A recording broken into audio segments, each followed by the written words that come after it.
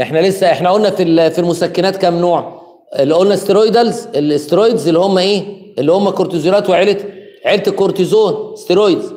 وقلنا في non steroidals anti inflammatory drugs وخدنا منها الفلدين والبروفين وكل العيلة بتاعت ال- القل والباراسيتامول والأسبرين. وكل دول. صح. في عيلة ثالثه بقى كبيرة اسمها ال opioids اللي هي عيلة الإيه؟ ال morphines. ال morphines بقى والأفيون والكلام ده أعلى.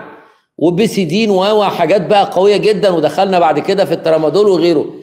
لكن اللي أنا عايز أقول لك عليه إن هل ممكن الإنسان بعد هذه المسكنات وهذه الأدوية يعود إلى الطبيعي؟ نعم ويكون الطبيعي أقوى. ليه بقى؟ لأن لسه جسمه ما خدش عليه. ال opioids يا دكتور 20000 وفيات في الولايات المتحدة بسبب ال opioids و13000 بسبب والجلوكوز طيب ال opioids ال opioids يا جماعة وعلى فكرة ال opioids برضه وهم. هقول لكم على سر أنا عملته. كان في عندنا مريض في المستشفى متعود ان هو ياخد الايه؟ حقن المورفين أو ال opioids حلو كده؟ الحقن يا دكتور الحقن يا دكتور حموت يا دكتور حموت يا دكتور خلي بالك معايا. فما عنديش. عملت إيه؟ جبت محلول ملح صلاين محلول إيه؟ ملح وقلت له حالا هتبقى حصان. اديته المحلول الملحي بعد نص ساعة جاي يبوظ. الله يكرمك يا دكتور. إيه ده؟ إيه الحلاوة دي؟ وخاف الراجل. خاف الراجل من إيه؟ من الصلاين محلول ملح. إذا ال- الحقن عنده مش دواء إنما إحساس. أنت سامع؟ يعني زي ما أقول لك إيه بيجي لنا ناس كده ده أنا بموت ده أنا كذا ده أنا كذا بجيب قرص أسبرين. بقول له ده أنا معايا قرص. أوه القرص ده ب 1000 جنيه. بس لو خدت القرص ده قلت بسم الله هتخف. ياخد القرص بعد خمس إيه ده؟ ده سحر يا دكتور. سحر إيه؟ يعني انت فاهم؟ يعني في ناس بتاخذ الأدوية لمجرد التعود على الأدوية. أدوية ألعن منها أدوية ألعن من المسكنات اللي هي أدوية الإيه؟ الصرع وال- والحاجات دي والباركنسون والكلام ده. ألعن منهم أدوية الضغط. وأدوية الضغط دي يا جماعة كارثة البشر. ماذا فعلت أدوية أدوية الضغط في الرجالة ضعف جنسي. أدوية الضغط سحبت الدم من الدماغ عملت همدان وخمول وكسل. آه والله العظيم. وخلت الناس عاملة زي حتة الطين. طب هل يا دكتور ضغط الإنسان ركز معايا ضغط الإنسان الواحد بيختلف من موقف لموقف؟ يعني أنا دلوقتي دكتور جودة لو قست الضغط ضغطي دلوقتي هيبقى زي الضغط بتاعي وأنا صاحي من النوم هيبقى زي الضغط بتاعي وأنا بجري وطالع السلم هيبقى زي الضغط بتاعي وأنا داخل على الغسيل الكلوي. طبعا الضغط هيختلف. ليه؟ ليه ليه الضغط بيختلف يا جماعة؟ يا جماعة جرب مع نفسك كده. انت ماشي في الطريق عادي. ضربات قلبك عادية. لو طلعت تجري السلم أو جريت ورا حد ها؟ ضربات قلبك هتزيد. يبقى أكيد الضغط ماله هيزيد. لو أنا نايم وبالراحة وقايم من النوم وبراحتي خالص ها؟ هادي خالص. يبقى اذا الضغط بتاع الناس بيختلف من موقف لموقف. ضغط الناس بيختلف. امال إيه الستاندرد بتاع العالم في قياس الضغط؟ إيه بقى ال- ال- القواعد الموحدة؟ القواعد الموحدة نمره واحد لازم يكون المريض complete physical and mental rest يعني إيه يا دكتور؟ يعني لازم المريض يكون مستريح قبل الراحة بنص ساعة عقليا وجسديا وكل حاجة. وتقيس له الضغط. طب أنا دلوقتي نزلت من العمارة وطلعت ورحت على الصيدلي وأنا واقف قلت له قيس لي الضغط. هيطلع مظبوط؟ مش هيطلع مظبوط. ليه؟ اولا أنا في مجهود الطريق. ثانيا آه، الضغط وانت واقف غير الضغط وانت قاعد. خلي بالك من الحكاية دي. واضح ولا مش واضح؟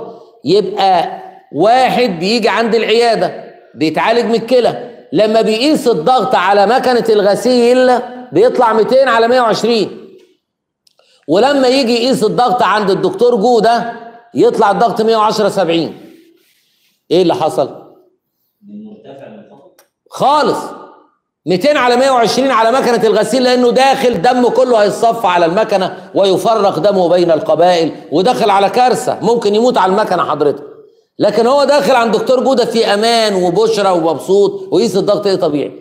هل ينفع آخد ثلاث أدوية للضغط؟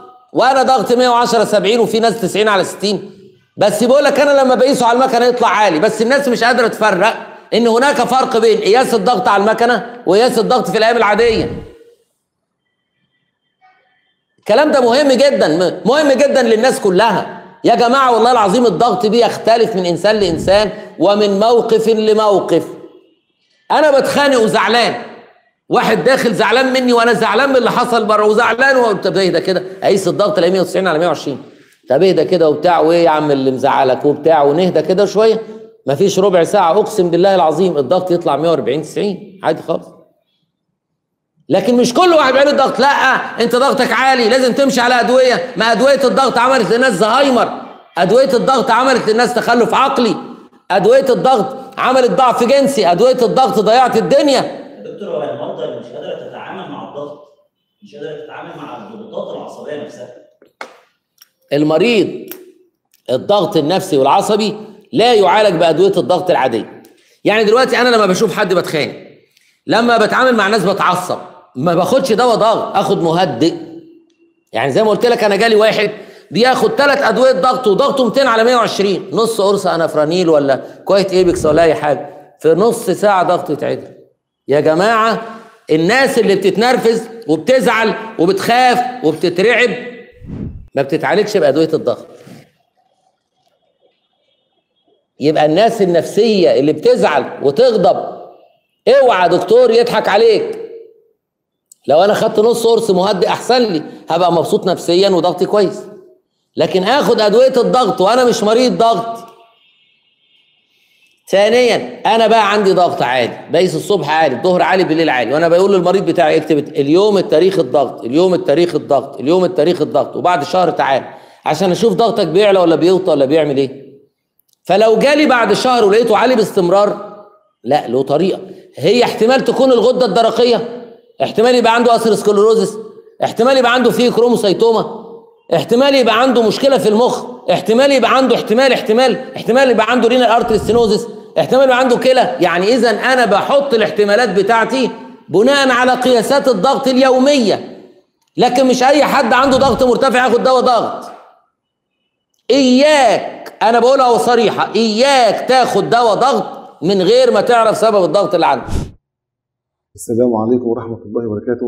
أنا مهندس عبد العزيز رمضان مدير قناة محب الدكتور جولة محمد عواد. الفيديو ده هكلمكم في خلال دقيقة واحدة عن الأقسام الجديدة اللي ضفناها بناء على طلبكم مبادرة ابن شدة بشدة بسعر تكلفة. وسيتم تنفيذ جميع الأقسام تحت إشراف دكاترة مهندسين واستشاريين ومهندسين ذو خبرة كبيرة في مجال الإنشاءات والتشطيبات وبأقل مصاريف لأنها تكون بسعر التكلفة واول قسم اضفناه هو قسم صيانه الشقق والعمارات السكنية. والصيانه هتتم من قبل فنيين متخصصين عشان نضمن ان المشكلة ما ترجعش تاني وكده نحميكم من استغلال الصناعية والفت اللي ملوش أي لازمة. القسم الثاني اللي اضفناه هو قسم التسويق العقاري. يعني لو بتدور على شيء تمليك هنوفرها لك. وكمان هنراجع المستندات والأوراق والتراخيص قبل ما تشتري علشان ما ولو عندك عمارة سكنية أو فيلا وعاوز تبيعها كلمنا على الارقام المظهره على الشاشة. وهنساعدك على تسويقها في أسرع وقت. وهيتم تنفيذ المبادرة في بعض المناطق بالقاهرة والجيزة و6 أكتوبر والفيوم. ويوم بعد يوم هنزود الأماكن. شكرا لكم. والسلام عليكم ورحمة الله وبركاته.